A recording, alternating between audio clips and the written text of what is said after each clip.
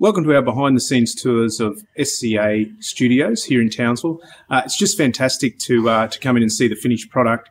Uh, we've watched uh, Shane and the team transformed this building over the last six months as we were recording our Chambercast series, our podcast.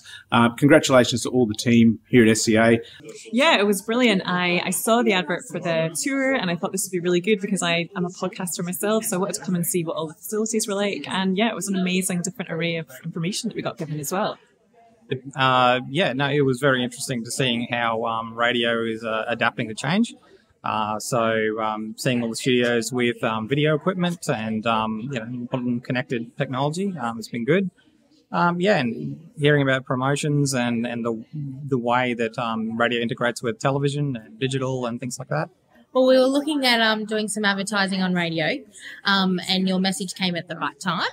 So I was really interested to learn the behind the scenes instead of just going, "Hey, I'll have that package." So it was nice to see how it all worked. I wasn't sure if I could get here, and I'm so glad that I did because the behind the scenes tour really gave me insight to how all the pieces of the puzzle fit together. So, looking at the radio, the digital, and the TV, uh, it really started to inspire some ideas. So, watch out 2022. I think there's a room full of people who are going to take this somewhere.